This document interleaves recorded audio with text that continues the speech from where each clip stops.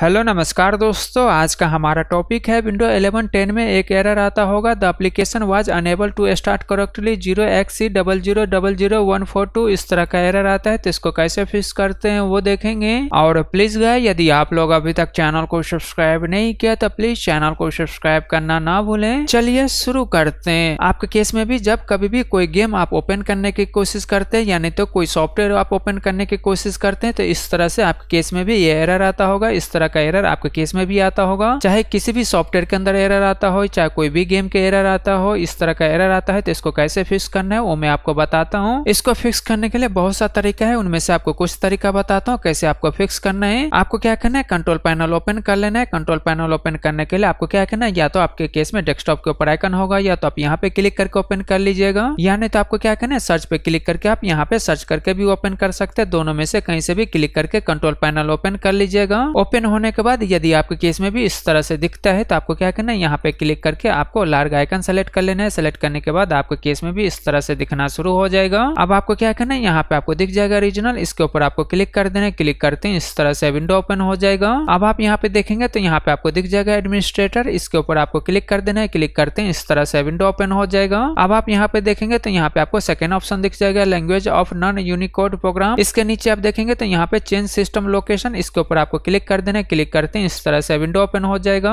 अब आपको क्या करना है, यहाँ पे आपको क्लिक करके आपके केस में जो भी लोकल है, उसको आपको सेलेक्ट कर लेना है, ये बहुत ज़रूरी है। आपके केस में जो भी लोकेशन यानी आपके हिसाब से जो भी यहाँ पे लोकल लोकेशन पड़ता है, उसको आपको सेट कर लेना है। ज़रूर आप यहाँ से सेट कर लीजिएगा। इसके बाद यहाँ पे आपको ओके पे क्लिक कर देना है। इसके बाद यहाँ पे आपको ओके पे क्लिक कर देना है। इसके बाद इस विंडो को यहाँ से आप क्लोज कर दीजिएगा। क्लोज करने के बाद अब आप एक बार सिस्टम को रीस्टार्ट करके चेक कर लीजिएगा। आपके केस में जो ये प्रॉब्लम आ रहा था यह प्रॉब्लम फिक्स हो गया होगा। मान लीजिए फिर भी प्रॉब्लम फिक्स नहीं होता है तो आपको क्या करना है? सर्च पे क्लिक कर देना है क्लिक करते हैं, इस तरह से विंडो ओपन हो जाएगा। अब आपको यहाँ पे सीएमडी टाइप कर देना है टाइप करते हैं, यहाँ पे आपको फ़र्स्ट ऑप्शन दिख जाएगा कमांड प्रॉम्प्ट इसके ऊपर आपको राइट क्लिक कर देना है। इसके बाद यहाँ पे आपको दिख जाएगा रन एडमिनिस्टर इसके ऊपर आपको क्लिक कर देना है क्लिक करते हैं, इस तरह से विंडो ओपन हो जाएगा। अब मान लीजिए, यदि आपके केस में भी इस तरह से विंडो ओपन होता है तो आपको क्या करना है? यहाँ पे यस पे क्लिक कर देना है यस पे क्लिक करते हैं, इस तरह से विंडो ओपन हो जाएगा। अब आपको क्या करना है? डिस्क्रिप्शन में जाना है डिस्क्रिप्शन में जाने के बाद वहाँ पे आपको दो कमांड दिख जाएगा तो आपको क्या करना है? सबसे पहले आप पहला वाला कमांड कॉपी कर लीजिएगा। कॉपी करने के बाद आपको क्या करना है? यहाँ पे आके इस कमांड को पेस्ट कर देना है। पेस्ट करने के लिए आपको क्या करना है? यहाँ पे आपको राइट क्लिक करना है। इसके बाद एडिट के ऊपर जाना है। इसके बाद यहाँ पे आपको पेस्ट दिख जाएगा। इसके ऊपर आप क्लिक करके इस कमांड को पेस्ट कर दीजिएगा। यानी तो इसको पेस्ट करने के लिए दूसरा तरीका भी है, वो भी मैं आपको बता देता हूँ। शॉर्टकट तरीका ये है कि आपको क्या करना है? माउस का कर्सल यहाँ पे आपको रखना है। इसके बाद माउस का राइट बटन प्रेस कीजिएगा तो भी इस तरह से कमांड पेस्ट हो जाएगा। दोनों तरीके में से किसी एक तरीके से इस कमांड को आप पेस्ट कर लीजिएगा। इसके बाद यहाँ पे आपको इंटर करके इस कमांड को रन कर देना है। रन होने के बाद ये कमांड रन हो जाएगा। इसके बाद आपको क्या करना है? इस विंडो को यहाँ से क्लोज करके सिस्टम को रीस्टार्ट कर दीजिएगा। रीस्टार्ट करने के बाद अब आप चेक कर सकते हैं आपके केस में जो ये प्रॉब्लम आ रहा था, ये प्रॉब्लम फिक्स हो जाएगा। अब मान लीजिए फिर भी प्रॉब्लम फिक्स नहीं होता है तो आपको क्या करना है? फिर से सीएमडी को एडमिनिस्टर मोड में ओपन कर लेने हैं। इसके बाद आपको डिस्क्रिप्शन में जाना है। डिस्क्रिप्शन में जाने के बाद वहाँ पे आपको सेकंड कमांड दिख जाएगा। उस कमांड को आप कॉपी कर लीजिएगा। कॉपी करने के बाद यहाँ पे आके ये कमांड पेस्ट कर दीजिएगा। इस तरह से कमांड पेस्ट कर दीजिएगा। यानी यही कमांड आपको डिस्क्रिप्शन में दिख जाएगा। इसके बाद यहाँ पे भी आपको इंटर कर देना इंटर करने के बाद आपको क्या करना ये कमांड रन हो जाएगा। रन होने के बाद आपको क्या करना इस विंडो को यहाँ से क्लोज कर देना है। क्लोज करने के बाद आपको क्या करना है? सिस्टम को रीस्टार्ट कर दीजिएगा। रीस्टार्ट करने के बाद अब आप चेक कर सकते हैं आपके केस में जो ये प्रॉब्लम आ रहा था यह प्रॉब्लम फिक्स हो गया होगा। अगर फिर भी प्रॉब्लम फिक्स नहीं होता तो आपको क्या करना है? ग्राफिक कार्ड का ड्राइवर आपको अपडेट कर देना है। आपके केस में जो भी ग्राफिक कार्ड का ड्राइवर होगा, यहाँ से आप अपडेट कर लीजिएगा। जैसे एग्ज़ाम्पल के लिए दिखा रहा हूँ। यदि आपके केस में इनवीडिया का होगा तो यहाँ से क्लिक करके आप मॉडल नंबर सेलेक्ट करके इसके बाद यहाँ पे आप सर्च पे क्लिक करके जो भी लेटेस्ट ड्राइवर होगा, उसको आप अपडेट कर लीजिएगा। उसके बाद रीस्टार्ट करके चेक कर लीजिएगा, आपके केस में जो प्रॉब्लम होगा, ये प्रॉब्लम फिक्स हो गया होगा। मान लीजिए फिर भी प्रॉब्लम फिक्स नहीं होता तो आपको क्या करना है latest version visual C plus plus आपको इंस्टॉल करना है। यहाँ पे आपको visual C plus plus download कर लीजिएगा। यहाँ से आप डाउनलोड कर लीजिएगा। यहाँ पे आपको दिख जाएगा visual C plus plus two thousand fifteen to two thousand twenty two यहाँ से सिक्सटी फोर बिट और थर्टी टू बिट दोनों डाउनलोड करके इंस्टॉल कर लीजिएगा। ऐसे ही आपको क्या करना है डायरेक्ट एक्स यहाँ से आपको डाउनलोड करके इंस्टॉल कर लेना है latest version DirectX install कर लीजिएगा। ऐसे ही. डॉट नेट आपको यहाँ पे डाउनलोड करके इंस्टॉल कर लेना है डॉट नेट भी इंस्टॉल कर लीजिएगा। उसके बाद अब आप चेक कर लीजिएगा, आपके केस में जो ये प्रॉब्लम था यह प्रॉब्लम फिक्स हो गया होगा। अगर फिर भी प्रॉब्लम फिक्स नहीं होता तो आपको क्या कहना है, आपके केस में जिस भी गेम या जिस भी एप्लीकेशन या जिस भी सॉफ्टवेयर के अंदर यह प्रॉब्लम आ रहा है, उसको आप यहाँ पे सर्च कर लीजिएगा। जैसे आपको एग्ज़ाम्पल के लिए मैं बता रहा हूँ, मान लीजिए स्ट्रीम के अंदर प्रॉब्लम आ रहा है, या कोई भी गेम हो गया, कोई भी सॉफ्टवेयर हो गया तो उसको आपको सर्च कर लेना है। इसके बाद यहाँ पे आप राइट क्लिक कीजिएगा, इसके बाद यहाँ पे आपको दिख जाएगा जाएगा ओपन फ़ाइल लोकेशन इसके ऊपर आपको क्लिक करना है क्लिक करते हैं, इस तरह से विंडो ओपन हो जाएगा। इसके बाद यहाँ पे आप राइट क्लिक कीजिएगा, इसके बाद आपको यहाँ पे दिख जाएगा ओपन फ़ाइल लोकेशन इसके ऊपर चले जाइएगा, इसके बाद यहाँ पे आपको इसका ई दिख जाएगा। इसके बाद आपको क्या करना है, इस ई के ऊपर आपको राइट क्लिक करना है, इसके बाद यहाँ पे आपको दिख जाएगा प्रॉपर्टी इसके ऊपर आपको क्लिक कर देना है क्लिक करते हैं, इस तरह से विंडो ओपन हो जाएगा। अब आपको यहाँ पे दिख जाएगा कंप्लीबिलिटी इसके ऊपर आपको क्लिक करना है, इसके बाद यहाँ पे आपको दिख जाएगा रन कंप्लीबिलिटी टूरबल सूट इसके ऊपर आपको क्लिक कर देना है क्लिक करते हैं, इस तरह से विंडो ओपन हो जाएगा। अब आप यहाँ पे देखेगा तो यहाँ पे आपको दिख जाएगा ट्राई इसके ऊपर आपको क्लिक कर देना है। क्लिक करने के बाद ये विंडो ओपन हो जाएगा। इसके बाद आपको क्या करना है? यहाँ पे आपको नेक्स्ट के ऊपर आपको क्लिक कर देना है। क्लिक करने के बाद ये विंडो ओपन हो जाएगा। इसके बाद आपको क्या करना है? टेक्स्ट द प्रोग्राम इसके ऊपर आपको क्लिक कर देना है। क्लिक करते हैं। इस तरह से आपके केस में जो भी एप्लीकेशन होगा वो ओपन हो जाएगा। यदि नहीं ओपन होता है तो यहाँ पे उसको ट्रबल शूट कर देगा। इसके बाद यहाँ पे आपको नेक्स्ट पे क्लिक कर देना है। नेक्स्ट पे क्लिक करने के बाद ये विंडो ओपन हो जाएगा। इसके बाद यहाँ पे आपको यस के ऊपर आपको क्लिक कर देना है। क्लिक करते हैं। इस तरह से रिजॉल्व इशू करना शुरू कर देगा। जो भी प्रॉब्लम होगा उसको फिक्स कर देगा।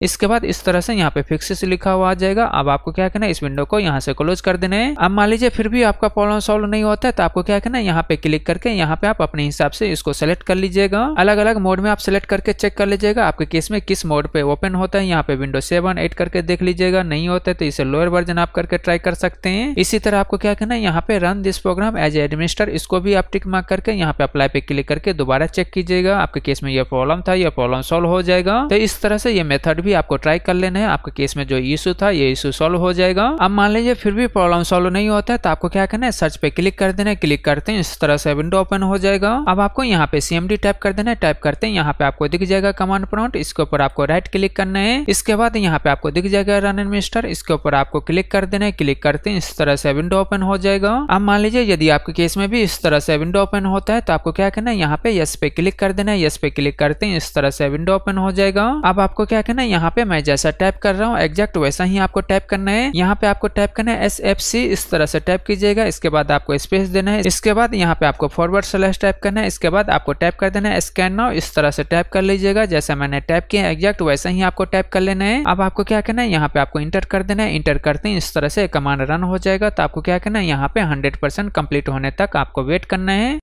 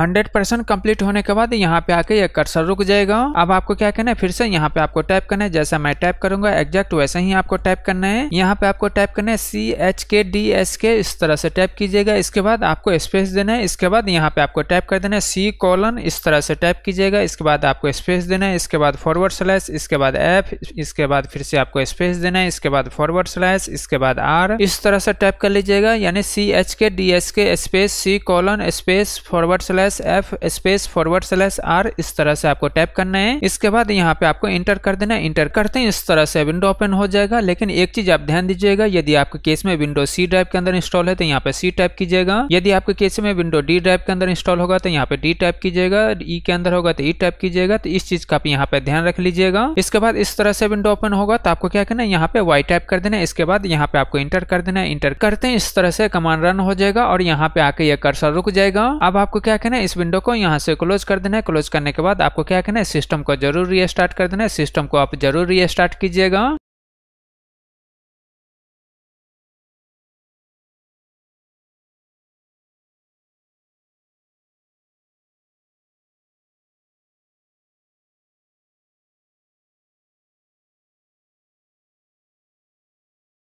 रीस्टार्ट होने के बाद आपके केस में भी इस तरह से ऑप्शन दिखता है तो आप इसको स्किप मत कीजिएगा। यहाँ पे आपको स्किप नहीं करना है, इसको आपको चेक डिस्क कंप्लीट होने देना है। इसको स्किप मत कीजिएगा। तो इस चीज़ का आप ध्यान रखिएगा।